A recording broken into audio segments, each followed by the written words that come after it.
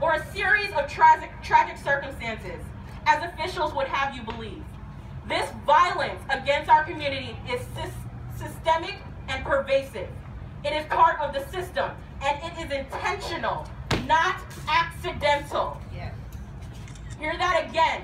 This is intentional, not accidental. It started with police in our schools who abuse and arrest our youth, as we saw last week in South Carolina. It starts with the lack of fresh food in our communities and all of the persistent health problems that accompany it.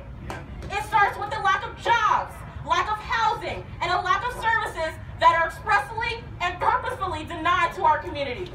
And it ends either with the death in the street, like Dontay Ivy and hundreds of others, or with torture and imprisonment in the largest system of incarceration in the world. Amen.